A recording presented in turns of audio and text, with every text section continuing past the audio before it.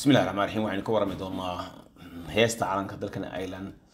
He- heesta calanka ireland ama heeskii askarta waa heesta qaranka jamhuuriyadda ireland. Waxaana heesta qoray patrick kellery iyada oo ingiliisha sida oo kale waxaa luqadda irishka ku qoray isna lane orin heesta waxay noqotay heesta astaanta qaranka rasmiga ee qaranku leeyahay sanadii kun sagaal boqol lix labaatankii waxaa heesta waxaa loo tixgeliyay inay tahay hees wadaniyada ay noqotay. Heesta qaranka dhammaanba ireland oo dhan sidaa ajligeedna waxaa heestan tusaale ahaa lagaga heesaa xaafado xaflado badan haddii ay noqoto dagaaliga atlantic association. Ciyaartaasi oo meel kasta oo ireland ah lagu qabto heestu waxay ka kooban tahay saddex qaybood iyo iyo subcis.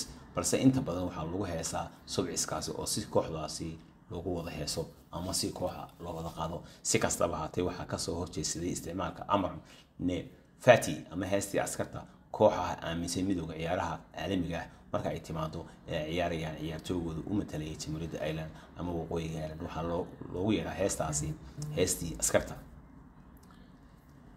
Waxaana runtii markii dambe noqotay inay muraan ka dhex dhaliso kuwii doonayay midnimada iyo kuwii doonayay wadajirka ireland inay kala sii jirto ingiriiska halka kale ay doonayeen inay madax banaadaan. Waxaana heestan inay tahay hees aad ka dhegeysan doonto meelo badan.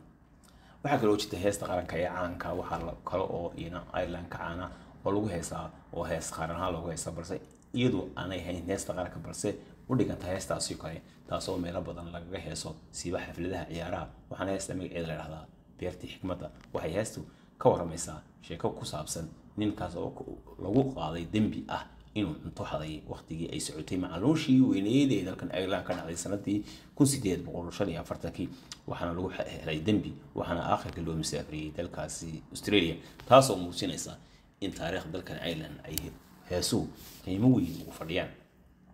Calaamadda qaranka calaamadda cuudka ah waa astaanta xuku- xukuumadda irishku ay leedahay waxa uu isticmaalaa dhammaan ballaamaha iyo xafiisyada dowladda. Waxay sidoo oo kale calaamadani ka muuqataa dhammaanba lacagta shilimaadka ee dalkan laga leeyahay.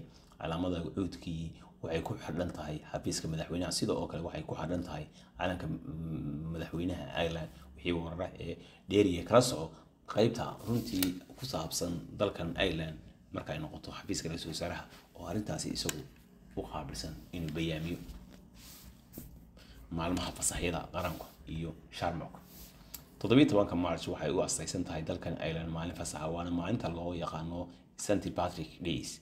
Wadaadkaas maalinta loogu magacdaray waa wadaadkii keenay diinta masiixiga dalkan ireland waxaana la sheegaa in tobanka march ay tahay maalintii uu geeriyooday wadaadkaasi st patrick. Dabaaldega iyo damaashaadka maalinta st patrick waxaa lagu qabtaa dhammaanba magaalada ku yaalla dalka ireland iyo waddamada kale oo dunida ku yaalla iyadoo ay tahay maalin fasax qaran ah maalintaasoo loo dabaaldego st patrick dadku waxay xidhaan caleenta geedka sharmashooka rasmiga ahaan. Maaha calaamad loo aqoonsan yahay inay tahay calaamada rasmiga balse waa mid si weyn loo garan karo ama loo garan ogyahay inay tahay calaamada ireland leedahay in ay tahay.